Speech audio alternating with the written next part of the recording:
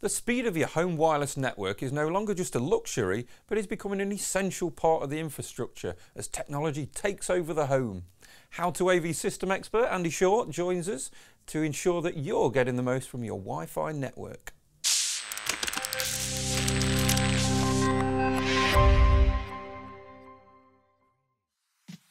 Not too many years ago, the four main utility services we consider for the home were electricity, gas, water and the good old landline telephone. But now of course broadband has replaced the landline telephone as the priority communication system. The speed and reliability of your internet connection has now become so important that it can often have a significant effect on property prices in the housing market. And as the Internet of Everything continues to fill our homes with internet connected devices, it's no longer just the speed of the web pages that rely on great broadband, but also video and music streaming, smart home control, home security and much more. Today we're joined by how-to system expert Andy Short for some great tips and tricks to get the very best out of your home broadband and Wi-Fi network. Andy, many thanks for joining us. Perhaps we should start off by understanding just how important the speed and reliability of our broadband service has become. It certainly has, Chris. So many devices are now linked and reliant on internet access. Computers, laptops, tablets, smartphones, smart TVs and games consoles such as Xbox One and PlayStation 4. With a small family of four, it wouldn't be unreasonable to easily expect 12 or more personal devices to be connected to the home network, many of which will be wireless.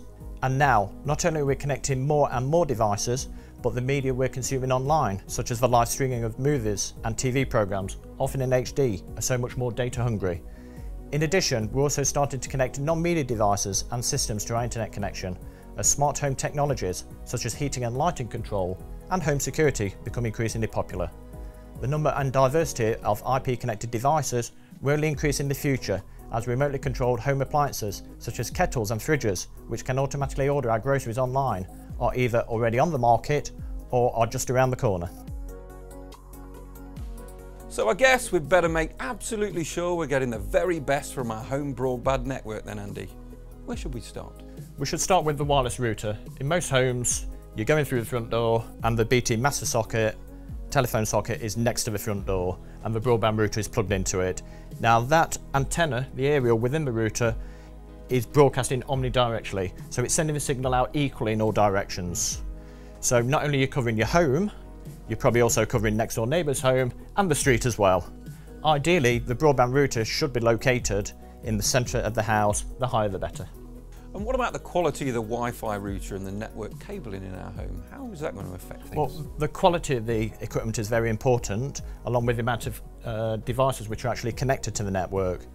But not only that, distance is the major problem. Mm. The further you go away from the router, the weaker the signal becomes. So if you're watching video streaming services like Netflix and YouTube, you might find that the picture goes fuzzy for a few seconds, or you get buffering of the video. This is when the server is in effect uh, compensating for that slow speed. It's compressing the data to try to give you a picture. So you probably see uh, an, an, an, issue in uh, performance of the picture. And providers are now giving us 5 gigahertz Wi-Fi connectivity as well as the 2.4 gigahertz. So what's the difference and should we assume that 5 gig is always best? Well 2.4 gigahertz uh, routers have been around for a long while a lot of devices out on the market use 2.4 gigahertz, not only wireless routers, but other things like video senders. There's not a lot of channels you can use, so the actual uh, frequency, the bandwidth, what it's using is actually quite congested. And of course that can affect speed and uh, quality. When 5 gigahertz came along, everybody thought, oh, wonderful. You know, we've got more channels, we can actually get a higher speed. The only downside with 5 gig is with it being a high frequency, you don't actually get the same coverage. So the distance actual effect can actually be more pronounced. You know, sometimes a long distance cable will probably seem better uh, than a long distance Wi-Fi connection.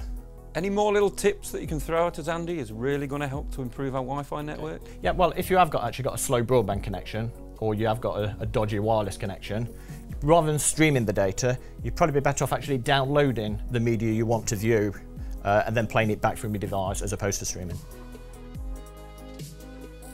And the only other tip from me would be that if you find the Wi-Fi is unusually slow one night, confiscate all the kids' phones and the laptops and every other device for the night and keep all that bandwidth for yourself.